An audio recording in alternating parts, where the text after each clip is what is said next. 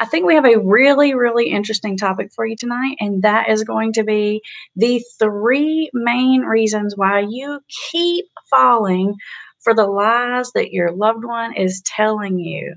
And when I say loved one, I mean I'm talking to people who have a loved one with a problem, who have a problem with drugs and alcohol. Let me know if you can hear me or if you can't, um, because I'm trying to figure out this whole live stream on YouTube thing.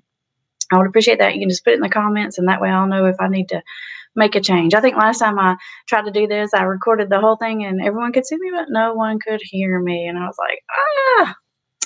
Um, and if you're just joining us and you think that you know someone else who could benefit from understanding why it is that we always fall for these lies, then feel free to share it out. My goal is to share recovery faster than addiction is spreading. And I think that is very possible with with your help. So share it out. People need families particularly really need the right information and unfortunately there are not very many resources out there. So let's get right into our topic. So um, I'm going to give you three. And then if you stick around, I'm going to give you a bonus reason why um, that you might be falling for these lies. Okay, reason number one is that, and this is a little bit nerdy, so just track with me here. Our brains, our human brains, are made to assess and collect a lot of information really quickly. And first and foremost, our brains are assessing for danger. So, and they're just made to process quickly. So, when we see and hear and take in information, we scan the environment around us and we take that information in really fast, and our brain just immediately connects it to something else that seems like, okay, this is what it is. And we actually interpret information from the world not necessarily as it is, but more as we are. So, you know, when you think about things like eyewitness testimonies, this is why you can have five people see the same thing and everyone tell you a completely different story. Um, I don't know why this story sticks out in my head because it's just really kind of an everyday thing, but it's a perfect example of this. Several years ago, my husband and myself, we were um, visiting um, my, our hometown. We're both from the same hometown, a little bitty small town in Tennessee. And we were sort of all of his family lives there and we were sort of on some back roads or something. I can't remember why but we passed this pond out in this field and i said hey did you see that swan? That was cool. And he said uh, no that's not a swan. That was like a plastic bag floating on the water. I was like that was a swan? You're crazy. So we're like going back and forth arguing about it and he's like well we'll go see. So he turns around and goes back and it was a plastic bag floating on the water. So guess who was wrong in that one? This girl right here. And so I was like, I was completely sure in my head that that was a swan because I guess I saw the white and I saw the water and my brain said swan. And so that's a perfect example of how our brain takes information really quickly without really getting all the details of it and it just decides the meaning of that information super duper quick. So um when and how that applies to the idea of having a loved one with a problem is that the people closest to us actually we you can lie to the people closest to you in, in almost any circumstance better and easier than you can lie to people that don't really know you so well. Because when you're dealing with someone that doesn't know you as well, they actually pay closer attention to you because you're new and you're novel and they're trying to figure you out and your brain is or their brain is assessing you for is this person dangerous or not? And so it actually takes in more details of the information because it's a newer situation. But when you're dealing with someone like that you live with someone that you see all the time even when you're seeing them and you're interacting with them, your brain just translates that information. It connects it to everything else you know about them, and you're not really objectively taking in information. So your brain just automatically goes on what it knows or its history about this person, and that's why it's actually you. You would think it'd be different. You'd think it'd be um, harder to lie to the people closest to you, but it's actually the opposite of that. It is easier to lie to the people closest to you. So that's one of the reasons. And so if if that's what's going on with you, you don't have to feel bad about that. We're all like that. That's about biology. That's about the way our brains are wired. And it's not something that you're doing wrong, but it is something that you may want to be sort of mindful about so that you can maybe pay a little closer attention so that you can get your brain on a little bit higher of an alert and notice what's going on. So that's reason number one that your brain just interprets data so fast and people closest to you can lie to you the easiest. Reason number two is because, hold on, let me look at my cheat sheet. Oh, is because we we tend to not listen to our intuition. So most of us have the experience of having that gut feeling, that knowing something's up. And we have this all the time, every day. And it doesn't necessarily have to be about our loved one's addiction. It can be like about anything. Like it happens to me all the time when I'm like driving and I'm about to get on the interstate or something to come home and my brain or something inside of me just says like, don't go that way. And then almost immediately I'm like, but the other way is so long, like I don't want to go the other way. And then I hop right on the exit, and then there's a big old giant traffic jam. It's so easy to rationalize away or push away what your intuition is telling you. So in this circumstance, it's kind of like you sort of know on some level, but you but you just dismiss it super easily. Because a lot of times what your intuition, what our intuition is telling us, um, seems either like a pain in the butt or it's trying to tell you something that make you do something that would be embarrassing or it's just easy to push it away. There's just a thousand reasons why we just don't listen to our gut. Like if you know what i'm talking about give me a thumbs up emoji in the chat. I know i'm not the only one. It's like how many times has something happened and you're like oh my god like i knew it. Like why why did I not listen to that? It's like after the fact, it's like you know you knew that was coming right in your gut and you did not listen. So I am like the hugest believer in intuition. Like if a client is telling me something and and I'll say, mm, here's my advice, and I'll say, wait a minute, wait a minute, what does your intuition say? And they'll tell me, I'll say, hey, go with that because that's going to tell you, that's going to give you the best advice. Go with your gut feeling. If your gut tells you something's up, something's up. So not listening to your intuition is another reason why you're continuously falling for the lies that your loved one is telling you.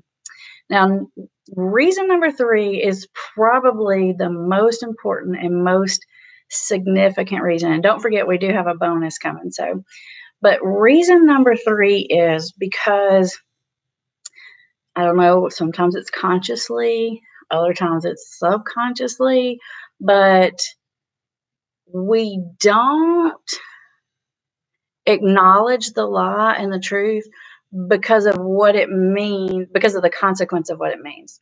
So it's like if you've told your loved one, like if you use one more time, or if you do this, or if you have drugs in this house, or you know, if you have one more relapse, then X, Y, or Z is going to happen. So a lot of times it's like you don't want to have to deal with the decision that you're going to have to make if you confront the truth.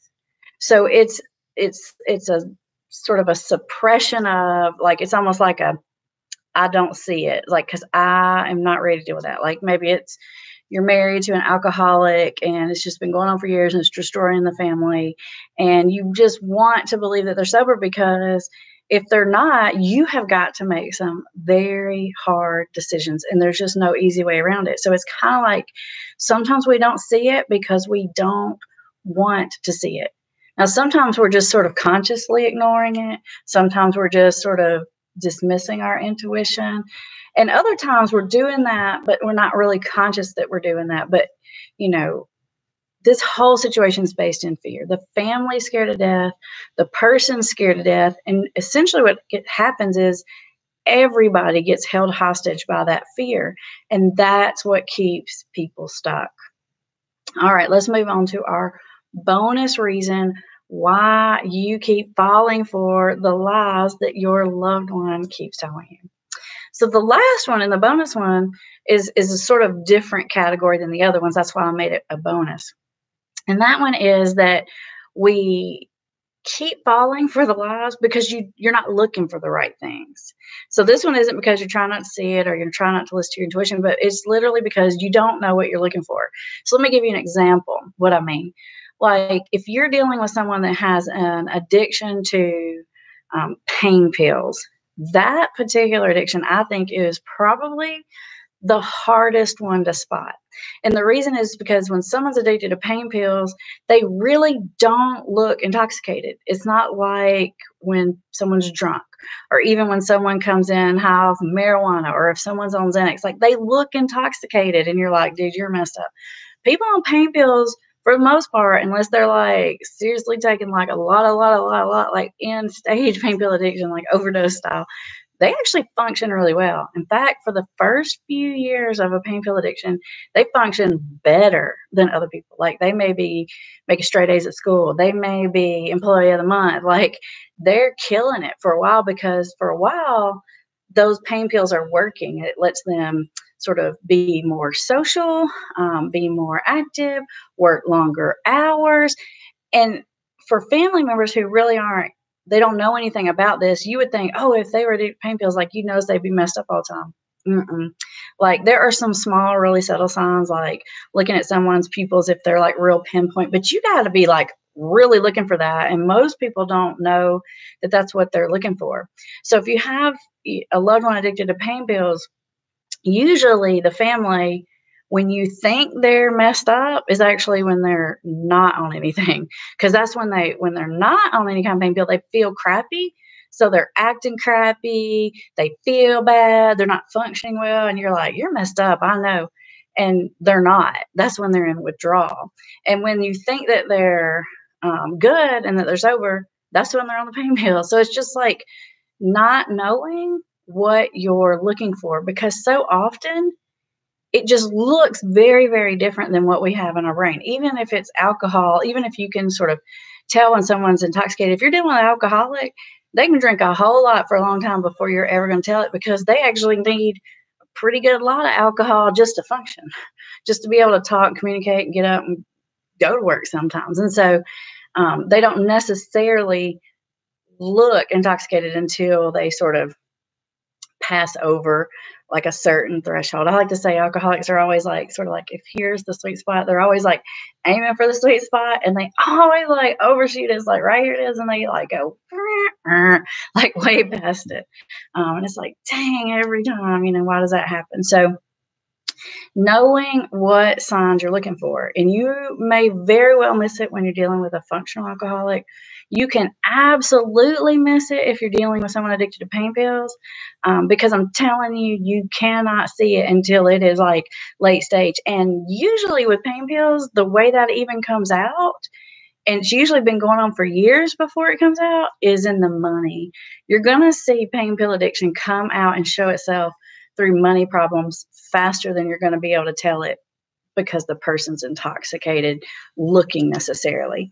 Um, so unless you're just like looking for it, looking for it, looking for it, you're gonna miss it. And so many families like come to us and they're like, "Oh my god, like how did my husband have this problem going on for eight years and I didn't know, or how did my kid get this far into addiction I never knew?" telling you, if it is pain pills, then you can very, very easily miss it. And so if you are dealing with a loved one that has a drug or alcohol problem and you're tired of being trapped in the lies and the manipulations and you're sick of being held hostage by fear and you're ready to get out of it, then you may want to consider, or I'd like to invite you to consider um, taking part in our Invisible Intervention Program. It's actually a newer online program. Uh, it's kind of like an academy that we've created for people where we take family members through a step by step process on not just how to get your loved one sober. I mean, that's a big piece of it. And we use what's called the CRAFT method to do that, which is, um, as of today, it is the most statistically proven, most effective method for intervening in an addiction with your loved one, whether that's drugs or alcohol. It uses the science and the psychology of what we know about addiction to actually get the job done. So it's sort of a combination of um, boundaries positive reinforcement and connection. And when you put those three things together in the right amounts and the right time and combination, that is effective.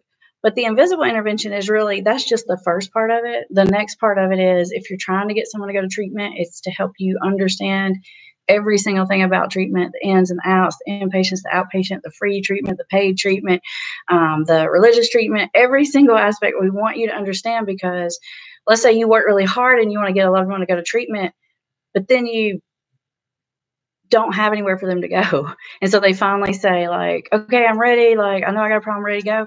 If you're not sitting on ready, if you don't know exactly like the three top places that you want them to go and what you're looking for, like that window is gone. It's only going to last anywhere from a few hours to a few days, and you've got to be ready to act.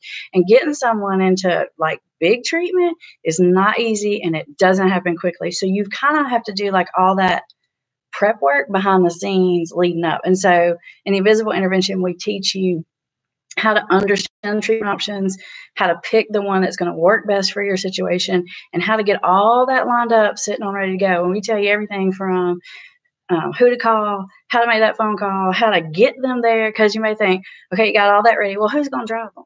Well, let me tell you what. If it's the mom or the spouse, that may be a very bad plan in some situations. So it talks to you about how to transport them to treatment. And then it'll talk to you about like how to interact with the treatment providers once they're in treatment, how to interact with your loved one. And as a huge bonus in the invisible intervention, we go through like all of the roadblocks and pitfalls that you may run into or you will likely run into. Um, as your loved one goes through those early recovery stages, like for example, like how to handle money. Um, if it's your kid, how to deal with it if they've got um, a toxic friend or a toxic boyfriend or girlfriend, how to deal with school issues, how to deal with work issues, um, how to deal with, you know, trusting them driving themselves around. All of these things are questions that every family has. They're good questions, they're normal questions. It's like, should I make them go to meetings? Should I make them sign a home contract? Now, if you've been watching my YouTube videos, you should know the answer to that. If you don't know the answer to that one already, you better go back and watch my YouTube videos because I have a lot and I'll talk about that one quite a bit. Um, all of those questions, you know, what do you do if they relapse? How do you know a relapse is coming? All that kind of stuff um, is all outlined in a step by step sort of from A you know, dealing with someone in denial all the way to how do I get and deal, manage someone into long term recovery. Um, it's all the invisible intervention. And right now we're taking beta testers because it's, you know, we've been doing this in our office for years and years and years, but the demand um, for people all over the country is just getting more and more as we do more and more online stuff. And so people are wanting our help, but they can't come to our office.